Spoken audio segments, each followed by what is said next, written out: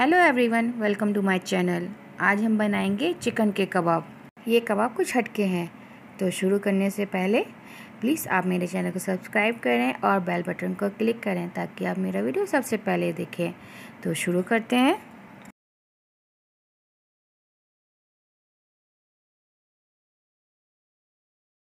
ये चिकन के पीस वो पीस हैं जो मैंने चिकन करी से निकाले थे। ये चिकन के वाले पीस हैं, जिनमें हड्डियाँ नहीं होती हैं और ये बहुत रूखे होते हैं। तो अक्सर इन्हें कोई नहीं खाता है। तो ऐसे पीस को आप कबाब बना सकते हैं। तो ये चिकन के कुछ रूखे पीस।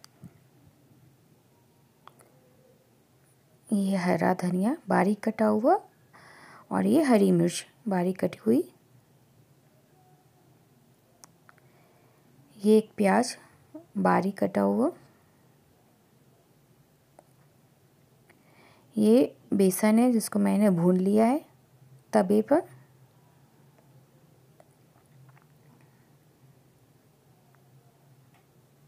हल्दी पाउडर, लाल मिर्च पाउडर, गरम मसाला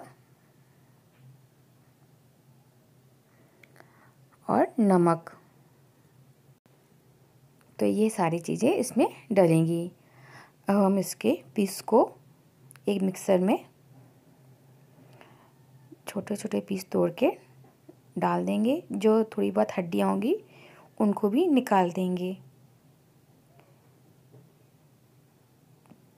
ये देखिए, सारे पीस को छोटा छोटा करके डाल देंगे।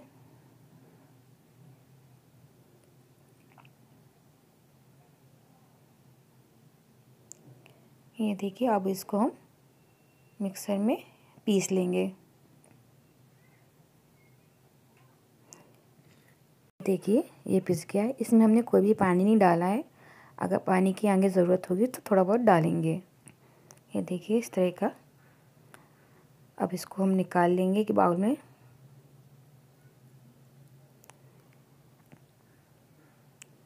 अब हम इसमें सारे मसाले डालेंगे।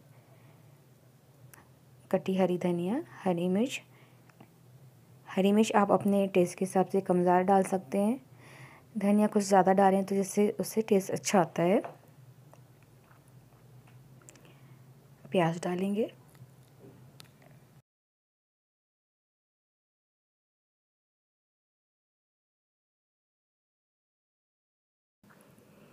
अब हम इसमें लाल मिर्च पाउडर डालेंगे। आप अपने टेस्ट के हिसाब से लाल मिर्च पाउडर डालें। हल्दी लगभग एक चम्मच डाल दें।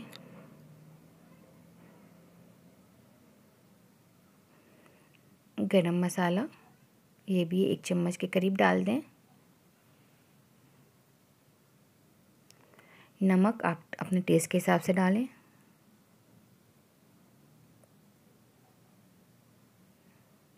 और इन सारी चीज़ों को अच्छे से मिक्स करें।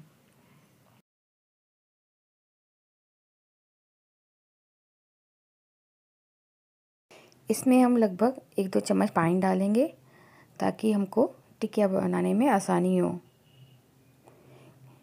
क्योंकि इसको हमने पीसने में पानी नहीं डाला था तो अभी हम डालेंगे एक दो चम्मच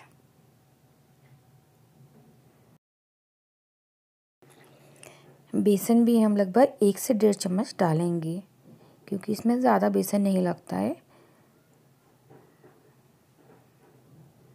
अब थोड़ा सा तेल में पानी लगा के इसको छोटी छोटी लोई लेंगे और उसको दबा दबा के ऐसे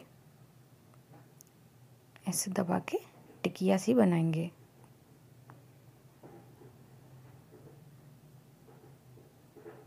ये देखिए, ऐसी टिकिया बनाएँगे।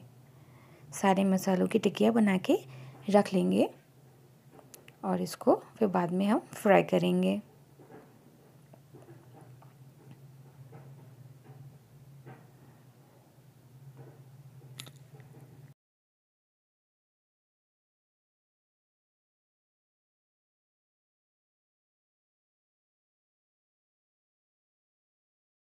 ये देखिए, हमारी साई टिकिया बनके तैयार हो गई हैं। अब हम इसको फ्राई करेंगे। उसके लिए एक नॉन स्टिक पैन लेंगे, उसमें तेल डालेंगे।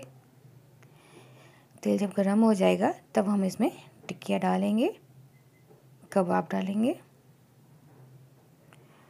और इसको लो फ्लेम पर सेकेंगे।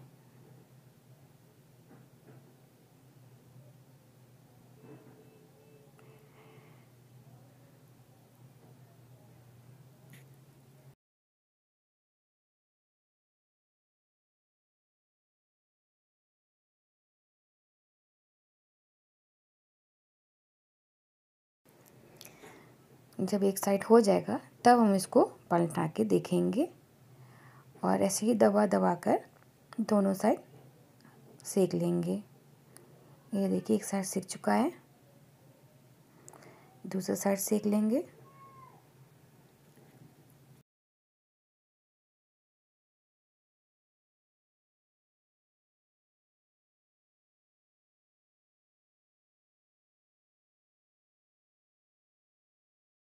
इन कबाब को हल्का सा ब्राउन सा करना है हमको दोनों तरफ़। ये देखिए, हमारे कबाब बन के रेडी हो गए हैं। बहुत ही आसान तरीके से, बहुत ही सिंपल रेसिपी है ये। अगर आपको मेरा वीडियो पसंद आया तो प्लीज़ इसको सब्सक्राइब करें लाइक करें और शेयर करें और कमेंट ज़रूर करें।